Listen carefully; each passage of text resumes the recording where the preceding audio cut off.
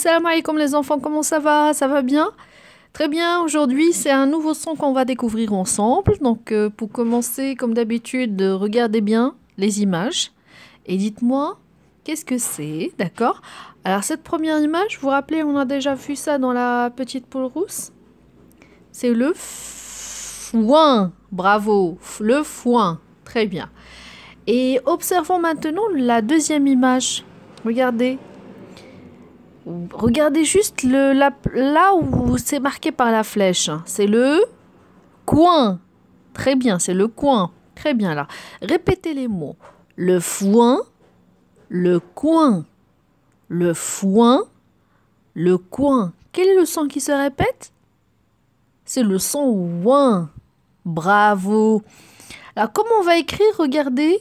Aïe, O-I-N.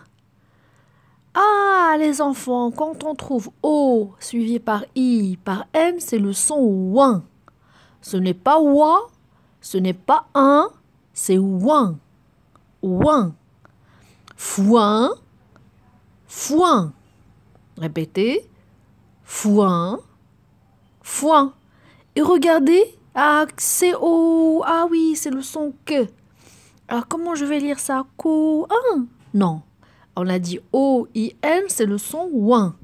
Alors, coin, coin. Encore, coin, coin. Et voilà, les enfants, le son ouin. Donc aujourd'hui, le son, c'est ouin. Alors, ça s'écrit O-I-N. Alors, je vois O-I-N. Et qu'est-ce que j'entends? Ouin. Qu'est-ce que je dis? Ouin je vois O-I-N et je dis ouin. Et j'entends ouin. Bravo. Alors, à vous de lire quelques mots, les mots suivants. Allez-y. Très bien. Oui. Très bien. Alors, à côté de loin, c'est le contraire de proche, loin. Il y a AIN, on ne l'a pas encore vu, mais c'est lointain. D'accord? Lointain.